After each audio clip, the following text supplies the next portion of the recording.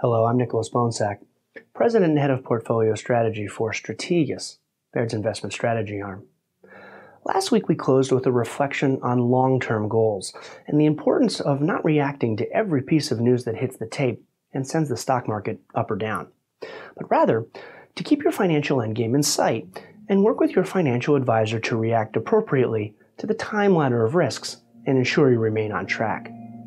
While it may be an understatement given the vagaries of 2020, it strikes us that our ability to maintain this discipline, to keep our long term goals in focus, will be put to the test over the next several months. While the broad market reaction in March and April was certainly more acute, understanding the why and the implications of why was far easier. We were reacting to the virus and the associated uncertainty that it presented. But six months on, there is less uncertainty. It appears society is learning to live with the virus, and investors are less prone to react to its every ebb and flow. This is not to suggest that the virus is no longer an issue, it is, or that the necessary point of care testing is available. It is not. It is certainly not to diminish the very real loss so many people have experienced at the hands of the virus.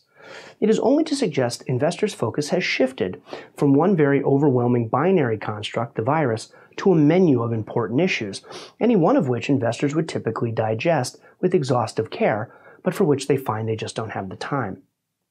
But if we look through the noise, to the extent uncertainty from investors' point of view has abated and signs that the economy continues to gather momentum intensify, we should ask why investors are not universally more bullish. Part of the reason, in our view, would seem to be the firm grasp that competing all or nothing political outcomes have on investors' mindshare.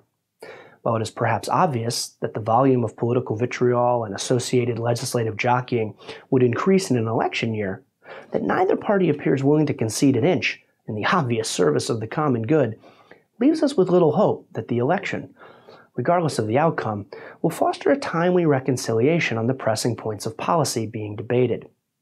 This is notable in two key areas that will likely have implications for the economic recovery and for our portfolios well beyond election day. The first is the natural tension inherent in weighing freedom versus safety, particularly as it relates to municipal lockdown and reopening. If you feel safe, it's unlikely you're entirely free. Conversely, if you feel free, it's unlikely you're entirely safe. And the second, which we discussed last week, is the size and target of additional fiscal stimulus. These strike us as important given the economy's arguable reliance on reopening and the provision of additional fiscal stimulus to recover more robustly. Perhaps investors are worried there's another shoe to drop. This is a natural concern given what we've experienced during this pandemic.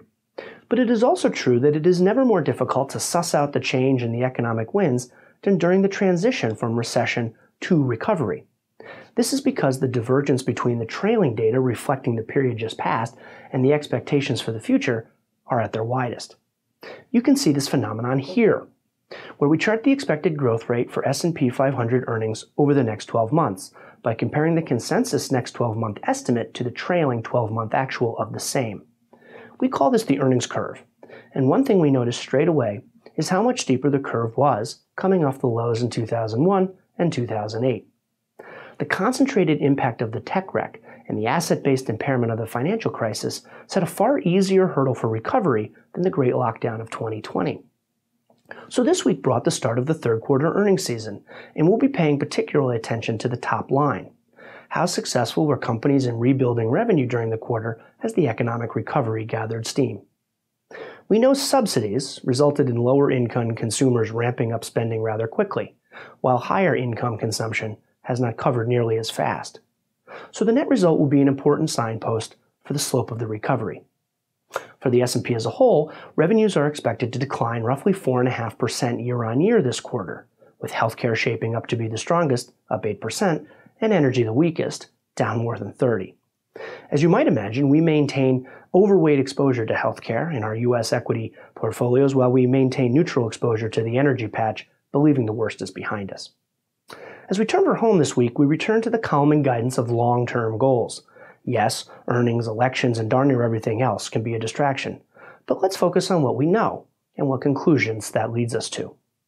While the V shaped bottom in economic activity seen during the third quarter was almost a given due to the enormity of monetary and fiscal stimulus, a continuation of the V shaped recovery is less certain.